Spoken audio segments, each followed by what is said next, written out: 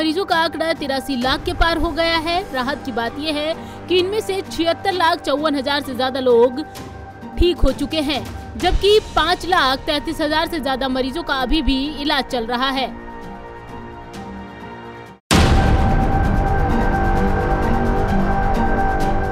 वहीं आपको बता दें कि कोरोना के चलते देश में अब तक एक लाख तेईस हज़ार छह सौ पचास संक्रमितों की मौत हो चुकी है। देश में एक्टिव केसों में एक महीने में लगातार गिरावट आ रही है। इस मामले में भारत अब दूसरे से तीसरे नंबर पर आ गया है। यहाँ सिर्फ़ चार दशमलव तीन चार प्रतिशत मरीजों का ही इलाज चल रहा है।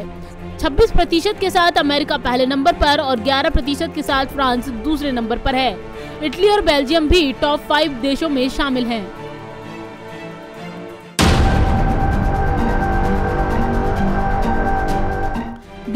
कोरोना वायरस के नए मामलों ने सारे रिकॉर्ड ध्वस्त कर दिए हैं। पिछले 24 घंटे में यहाँ कोरोना वायरस के कुल 6,725 नए मरीज़ मिले।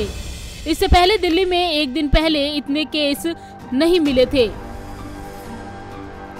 वहीं 24 घंटे में 48 मरीजों की मौत हुई है। 30 अक्टूबर को सबसे ज़्यादा पाँच हज़ार आठ सौ इक्यानवे मरीज़ सामने आए थे। राजधानी में संक्रमितों का कुल आंकड़ा चार लाख के पार हो गया है।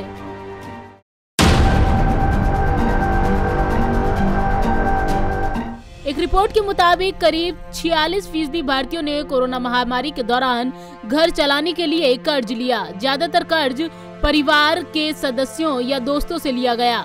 ये जानकारी होम क्रेडिट इंडिया की ताज़ा रिपोर्ट से सामने आई है। इसके लिए मुंबई, दिल्ली, भोपाल और पटना सहित देश के सात शहरों में सर्वे किया गया। सत्ताईस फ़ीसदी ने किसी पुराने लोन की किस्त चुकाने के लिए पैसे लिए तो वहीं चौदह फ़ीसदी लोगों ने नौकरी जाने के कारण कर्ज लिया।